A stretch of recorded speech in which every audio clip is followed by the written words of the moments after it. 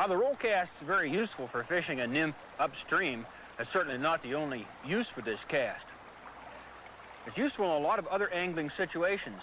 For example, when you have brush close behind you like this, it would prevent other kinds of casts. The roll cast still can be used. The pale morning dun mayflies are hatching now, so I've taken off the nymph and put on a dry fly. While you can fish a dry fly upstream with the roll cast, I prefer to use the overhead cast. It's more accurate, allows me to cast a little further, and doesn't get the fly as wet as the roll cast does.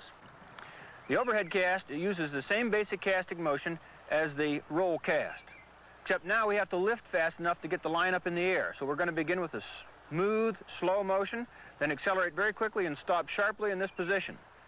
Then pause for just a second so the line has a chance to straighten out behind, move down and forward just like we did with the roll cast, and stop in this position. Just like this. Pause, smoothly forward. Lift smoothly, stop, down and stop. After the line straightens out, you can drop the rod tip if you want. Lift, stop, wait, smoothly forward, stop. You've got to start very smoothly, and then stop sharply. There are some common mistakes that people make with the overhead cast. The first of these is trying to pick the line off the water too quickly, so it rips off like that. Obviously, that'll spook any fish in the area. The other common mistake is taking the rod back too far like this, and that throws a line on the water behind you. I guess if you want to catch fish back there, that's fine. The other mistake is not waiting long enough.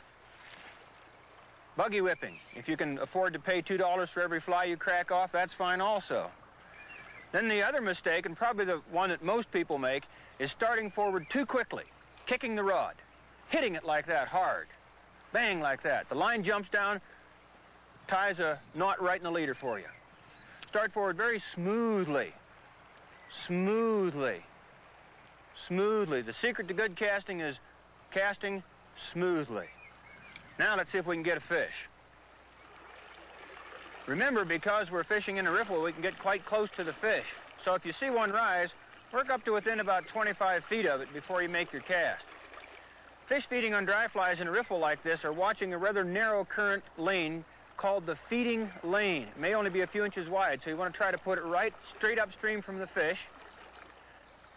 Cast it upstream about four feet from where you see the fish rise. Remember, the water's moving, so when you see the rise, the rise form is going to drift towards you, so the fish is actually upstream a little bit further than you think it is. One very good place to find feeding lanes in riffly water is sort of at the edge of the heavy current tongues like this, where the insects spin out. I'm using a leader that's 10 to 12 feet long, and it has about a three or four foot tippet on it, so I get a very nice natural drift with the fly. Just cast it up there and allow it to drift down naturally, just like that. Watch that fly on the water. If you see the fish take it, just lift the rod until you feel the weight of the fish, and then back off. Now, when you're fishing in fast water like this, you have to do something with all the slack line that's drifting back toward you. So I use a method I call line control. Let me show you how to do that.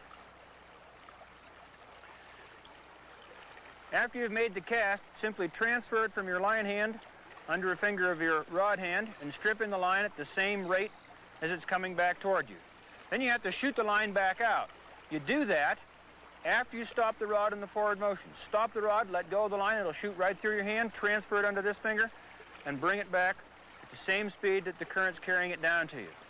Make sure you make a smooth transfer from hand to hand. Don't go like this. Not only does it look awkward, it's very ineffective and you've got to look at your hands and as soon as you look at your hands, the fish is going to take your fly. This way you can cast, transfer, strip. You never have to look down at your hands. You can be watching out there to see if a fish takes the fly.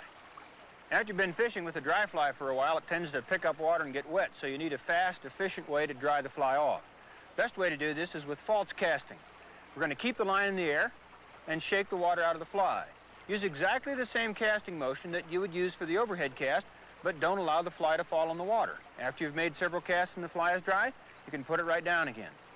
A couple of other very useful uh, reasons for false casting are first of all to change direction. You can simply false cast around like this if you see a fish rising and cast over there. Another very useful reason for false casting is to lengthen line. Each time I bring the rod forward, I can simply shoot a little bit extra line like this. Hey, there's a fish. See if we can get to that one. He's looking, he's looking, he's got it. It's a pretty good fish, too. Woo!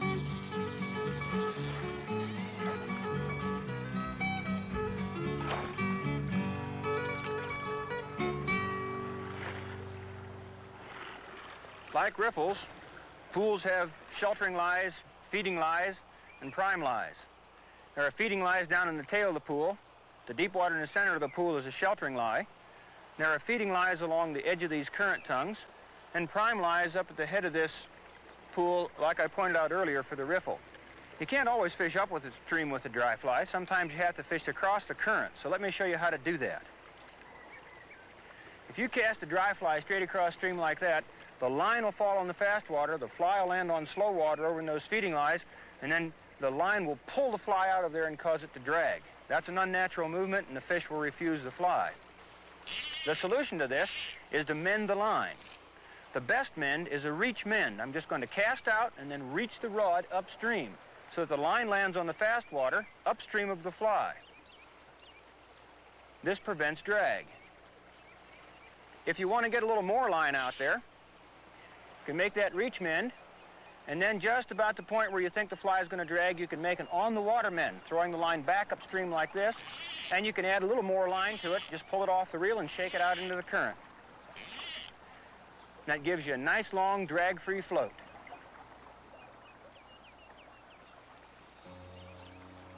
The spinners are falling, so I've come down here to the tail of the pool to try for some feeding fish. There are only feeding lies in the tail of the pool, so the fish here are going to be very spooky, and I have to approach them carefully and cast delicately. I can't approach from downstream because then I'd be casting up over that riffle. My fly would land on slow water, my line would land on fast water, and I'd get drag immediately. So I'm going to cast down and across stream. This will put the fly and the line and the leader all on one current speed.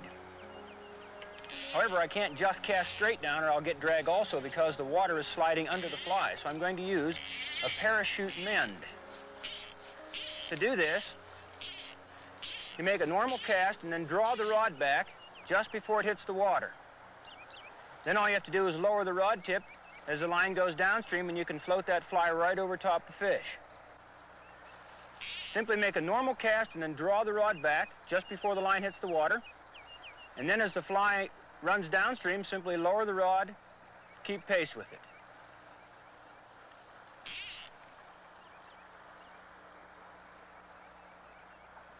Sometimes you have to move the fly a little bit to get it right into the fish's feeding lane because you can't always cast as accurately as you need to.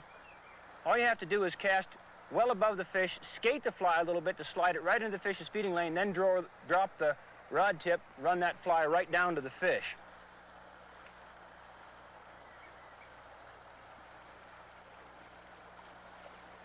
This down and across tactic is the best technique there is for fishing to leader shy trout, whether it be in the tail of a pool like this, or in a riffle, or in a big flat. Come on, fish. Got him.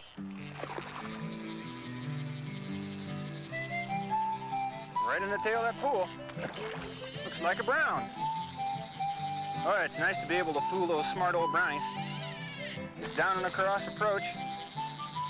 Getting that fly into the fish before the line and leader will do it every time. Oh. It is a brown, and he's a jumper, too. Nice fish.